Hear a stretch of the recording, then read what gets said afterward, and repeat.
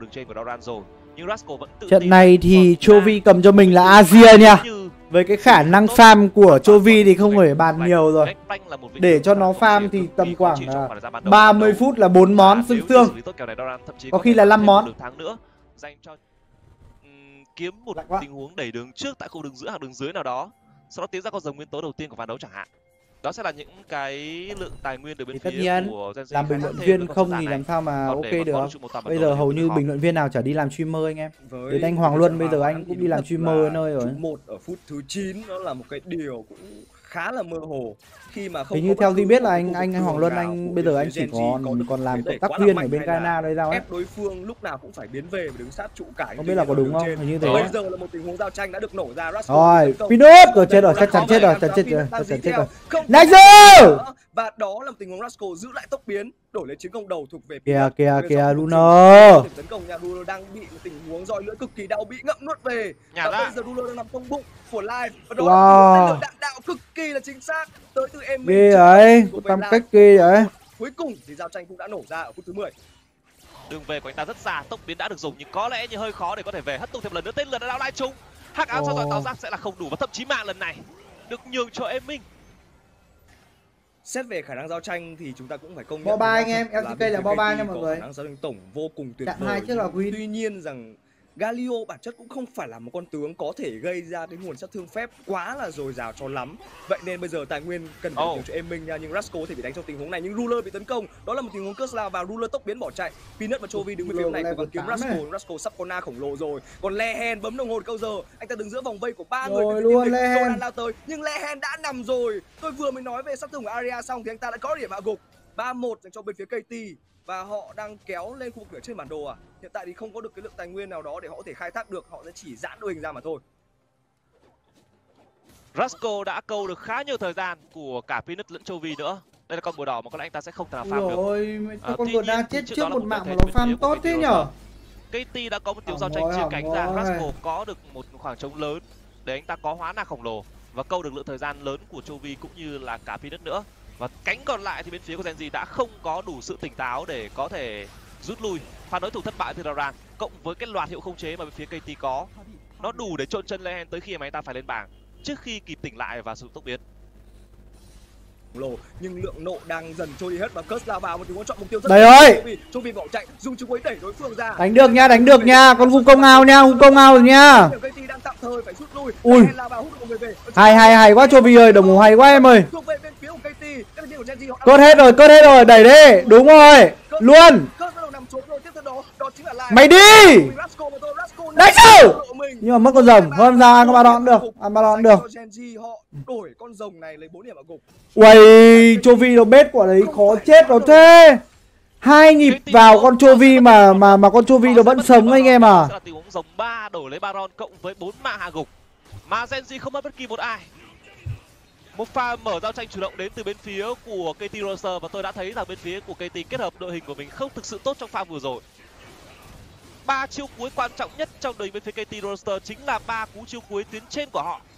Với Cho Vi là bui với đồ kiểu với mặt nạ cuối nguyền rủa với cả cái mặt nạ à cái mũ nguyền rủa với cả cái mặt nạ từ cớt, nhưng sau đó Lin Messi Android cảm này trâu nhở. niệm là quá lâu và khi Aria đáp xuống anh ta không hất tung được ai cả và khi con Gangplank thấy đối phương sổ vào thì những gì mà nó đang cần làm là nhấn một nút R vào giữa đội đối phương Hay quá. khoảng trống cộng với lượng sát thương gây ra sau cú chiêu cuối của Doran là vô cùng lớn Bên kia bị dướn luôn anh em ạ, bên kia bị lợi dướn luôn đam không lên nổi. rất một chiều diễn ra đến từ cả hai bên với không đổi vốn cho phía của Genji Chovy đánh hay đấy con Chovy ơi. những gì họ phải trả chỉ là dòng ba nó chưa phải là dòng 4 nó chưa phải là con dòng nguyên tố kích hoạt Thằng Asia đánh con cái Chovy anh em ơi. và bây giờ thì Genji hoàn toàn có thể dùng cái lượng tiền cộng với bộ lại Baron có được để kiểm soát Sương sương.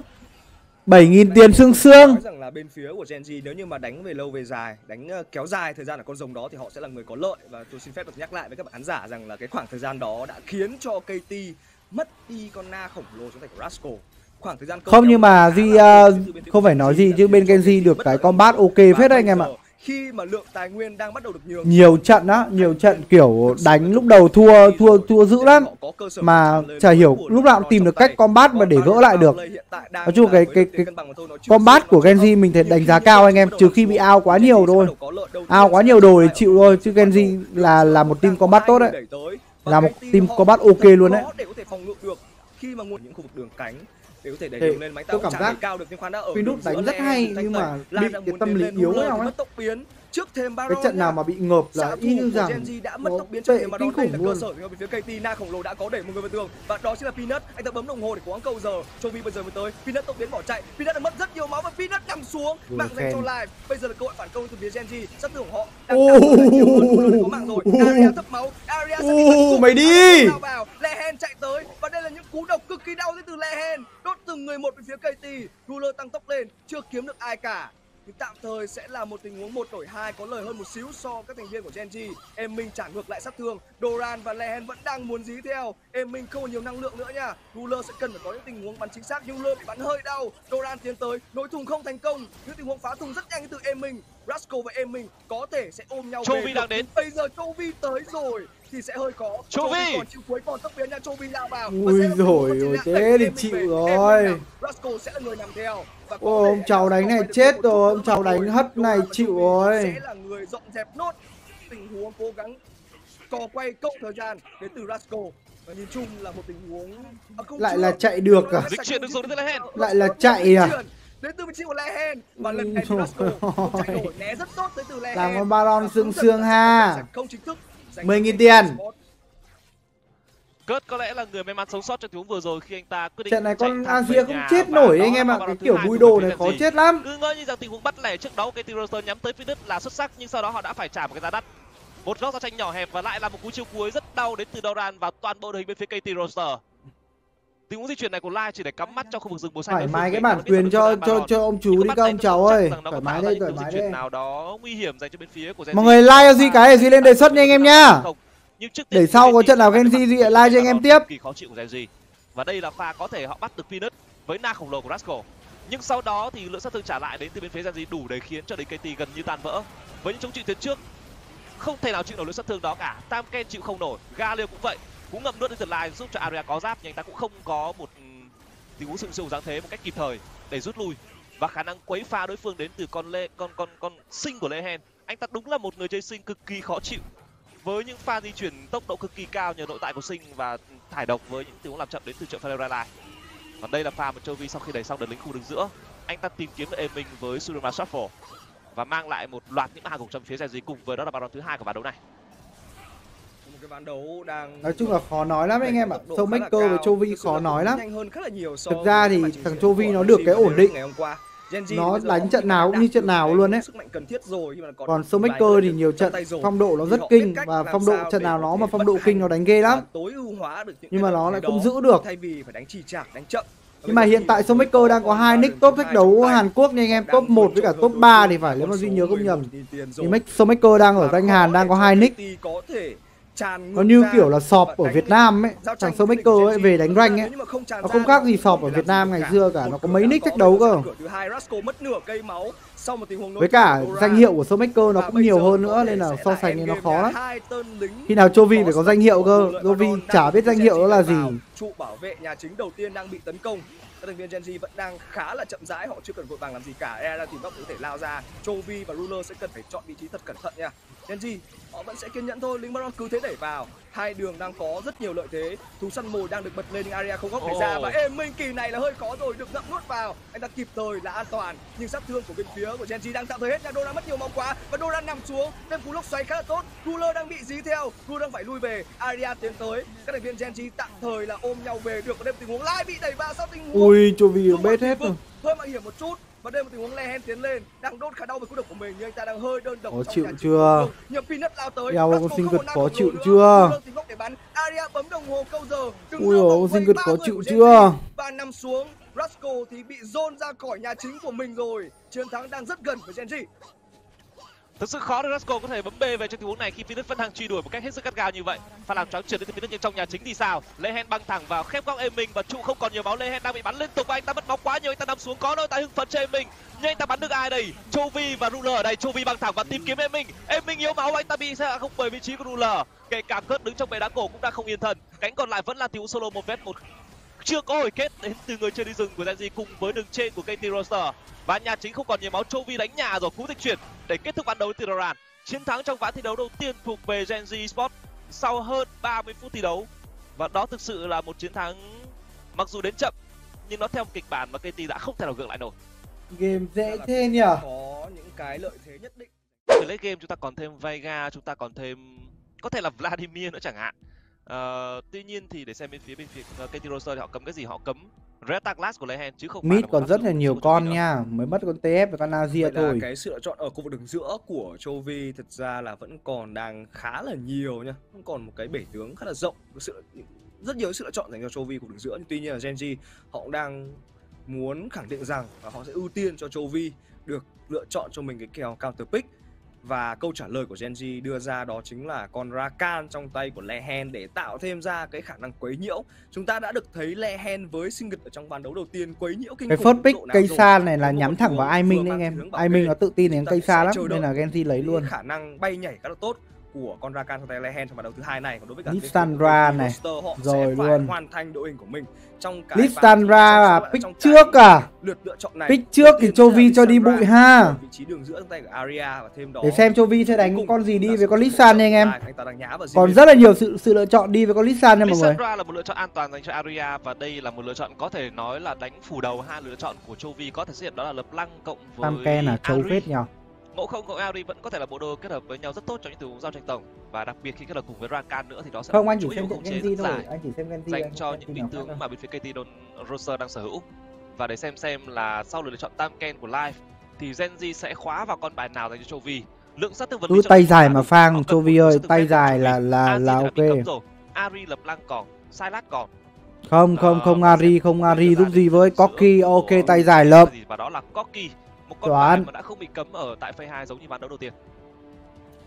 À, như anh Tùng Hợp lý, nói hợp lý, có kỳ hợp lý. khá là hợp lý trong biến của Genji nhìn qua đội hình của bên phía KT thì cả năm chiêu cuối đều khá là xịn nha.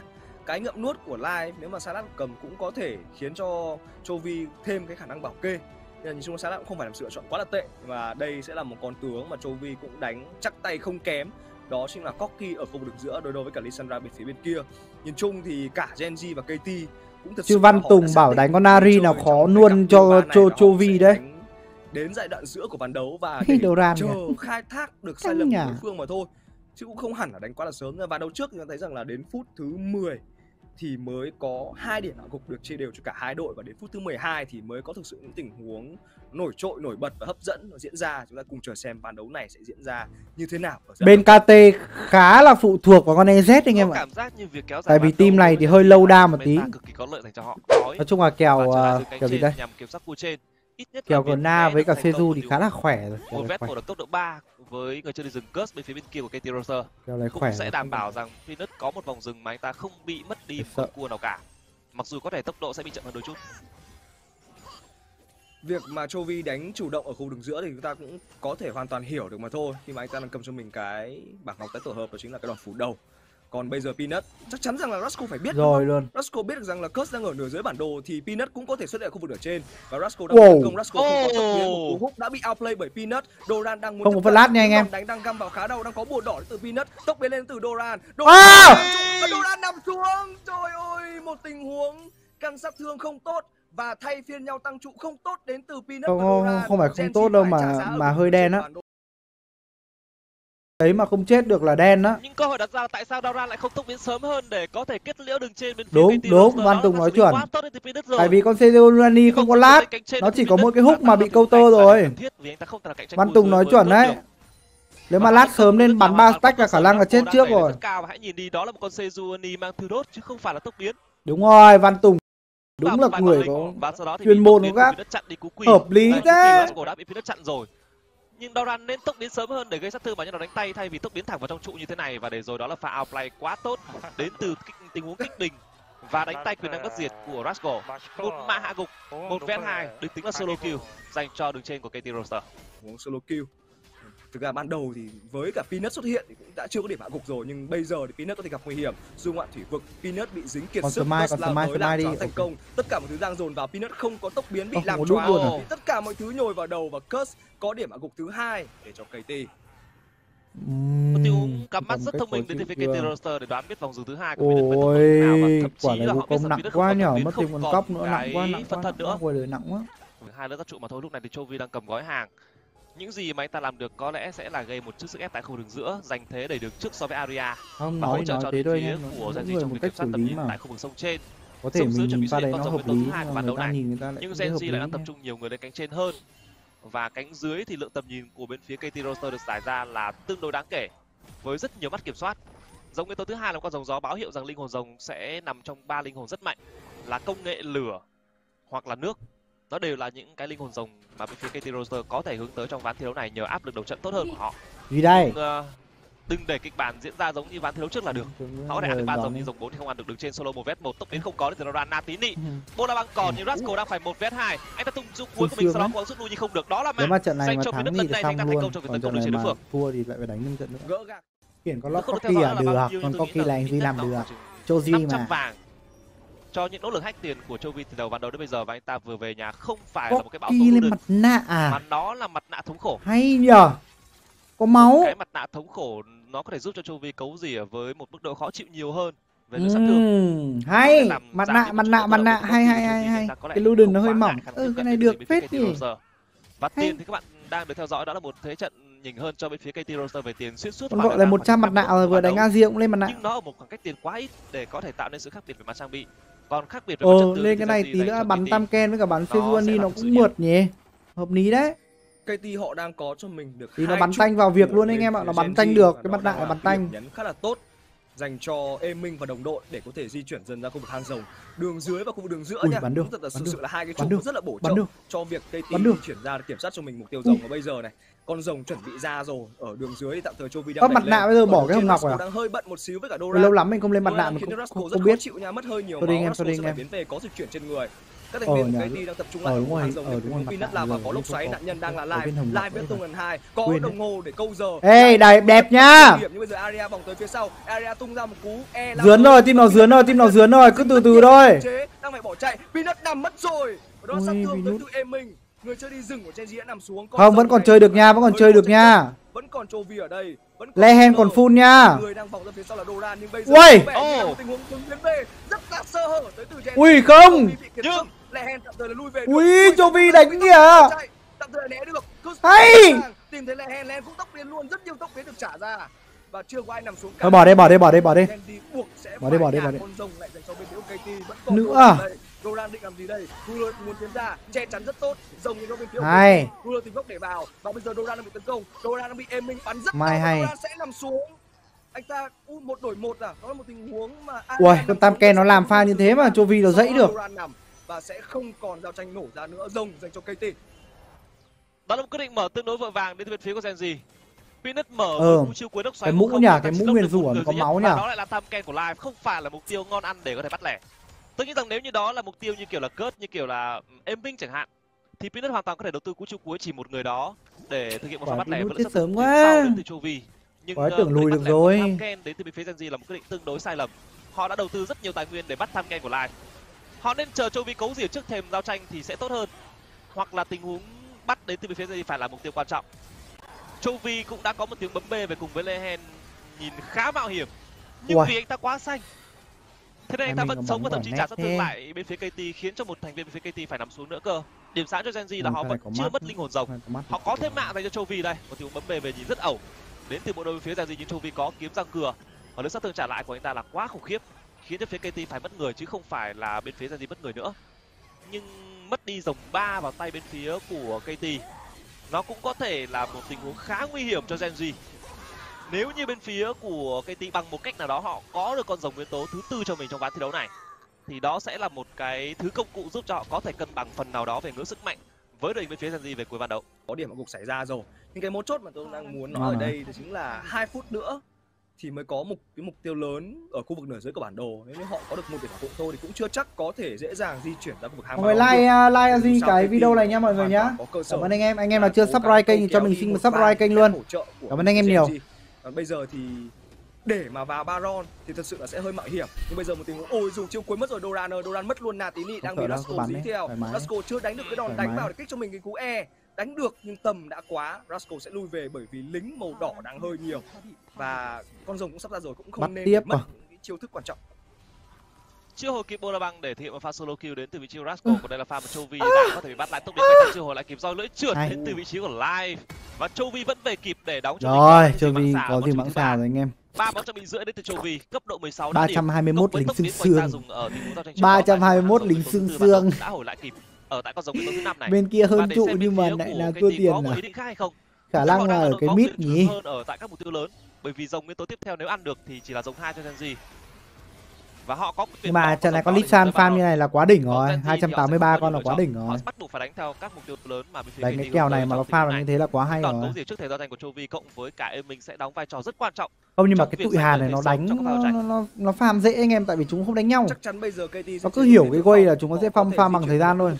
Nó dễ farm lắm. Thắng thể bỏ con rồng này những gì mà anh Tùng Có đánh nhau đâu mà. cú rờ ui cú rờ đó chất lượng nha nhưng mà thật đáng tiếc là không chính xác và bây giờ bắt đầu là màn trao đổi chiêu thức giữa Chovy và Em Minh. Nghĩa là cái tầm hoạt động của Em Minh thì có thể sẽ hơi ngắn hơn một xíu so với những gì Chovy có thể làm được. Nhưng mà 10 giây nữa rồng ra Ừ. rồi dù gì thì gì cũng sẽ rất cần những pha đó chính xác. Chovy găm được một viên đạn vào Em Minh. Thêm đó nữa là một viên đạn chính Là xác. Doran nhá, ăn cái bola băng hàn là là là là không có hóa được đâu đấy. Doran ơi! Gus không bị tung lên. À! Doran. Doran mất nhiều máu quá. Doran nằm xuống chưa có na khổng lồ vẫn còn tốc biến và mất người đến từ Genji rồi Ôi mất thế, để có thể kiếm ra ngoài việc nó nghỉ kèm đấy. đôi vai của Chovy không còn người mở giao tranh thì Ôi phải thế, nó- sao nữa? Con rồng đang thuộc Không 50 cố lên, 50. cố lên, cố lên, còn Rascal, Chovy. anh ta có dịch chuyển anh ta sẽ trở lại được. Và anh ta sẽ trở lại ngay lập tức mà thôi. Thể luôn nhìn là sẽ không hóa được rồi đấy. chọn họ bỏ con rồng này là sẽ rất khó để có thể giao tranh Rascal chưa hồi chiêu cuối nhưng hơn 3.000 máu thì bắn cũng sẽ oải hết cả tay mà thôi. Dịch chuyển trở lại đến từ Aria. Con rồng đang tạm thời được khởi động. Chovy đang là người đứng đầu. Ruler đang tìm góc để bắn. Con rồng còn 4.000 máu. Peanut có trừng phạt nha. Anh ta đang chờ đợi tình huống lao vào. Peanut đã dùng chi mồi rồi. Peanut bị tấn công. Dùng lúc thời nhẹ ra thẳng từ. Ruler Thôi, giết- giết người là được rồi, giết người được rồi, hay. Genji Giết hết, làm Baron. Giết hết. nhưng sát tường Chovy Chovy đã đang vô bắn. cùng nhiều Aria đang rất đơn độc được Được, nha. Ruler bet không về được nha. Bây giờ Đến từ Doran, Aria bấm đồng hồ. Chuẩn, anh ta không làm được nữa thì người Còn cái gì nữa đâu mà chơi này. Giải ơi là giời. thứ tư nhưng đó là một tình huống quét sạch tới từ Genji. Ôi Rasco, Rasco né được, Bola bằng hàn tung ra chính xác, Lehen chắc chắn sẽ vẫn dí theo rồi. Ừ. Rasco cố gắng né. Juno ơi, à sự ơi, em bắn cho nó cẩn thận đi nhưng nhỉ. quay đầu thế. Không né được. 12.000 Và sát thương. sạch dành cho Genji. Chovy 12.000 sát thương một cái combat. Sao đấy? Đang kéo lên khu vực ở trên bản đồ để ăn Baron. một tình huống giao tranh tôi nói vẫn thật với sớm anh em Genji, trận này nhưng khả năng là khi tôi cầm. Gona cũng được á chứ. Nhìn cái cách mà Chovy gánh Genji trong ván thi đấu này. Make up này. 12.000 sát thương là những gì có Corki đấy có thể làm được. ở ngay tình huống này ngay tại thời điểm Dora nằm xuống thì Corki của Chovy đã gây tới 5.000 sát thương trước thềm giao tranh. Em tắm trước và đi. đó là pha bốn sắp năm để câu giờ cho Dora xuất hiện kể cả là đã thua được? có một tiêu chí chấp trừng À phạt thua.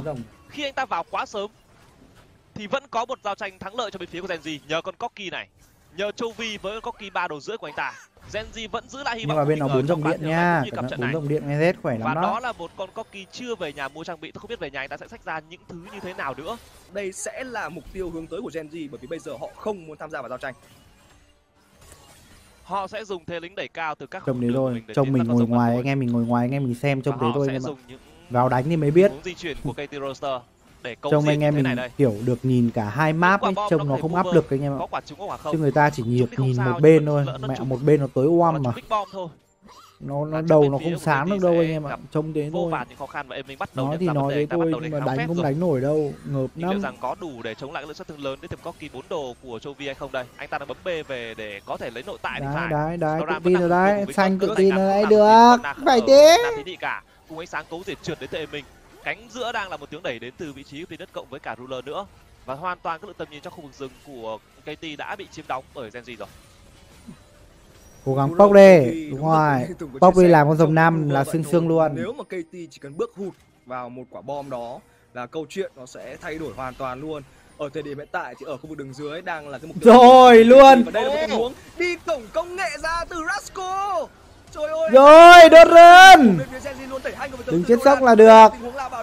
Dễ rồi, hết rồi, hết rồi, hết rồi. đó Lấy ra đam. từ Chovy, Chovy được bắn cực kinh thoải mái. Lấy đâu ra đam nữa. ta bắn từng người một. Bên trong kia thì là Ruler. Hai xạ thủ. GG. Và nếu tôi không nhầm thì ván hai có kết quả rồi. Đừng buồn em đó hỡi. chắc chắn sẽ là ván thắng Khi bên phía lỡ đi điểm này thì cổng không công nghệ kỳ thành viên nào KT rồi. trên bản đồ nữa một sai lầm chí mạng đến từ Rascal và cô có thể cho thấy lượng sát thương tại thời điểm này của ruler tại thời điểm này của Chovy nó là khủng khiếp là như thế nào? Và ngay lập tức khi thấy đối phương game người Genji tràn lên ở na khổng lồ của Doran và hủy diệt toàn bộ đội bên phía KT Roster với lượng sát thương lớn đến từ Ruler cộng với cả Chovy nữa.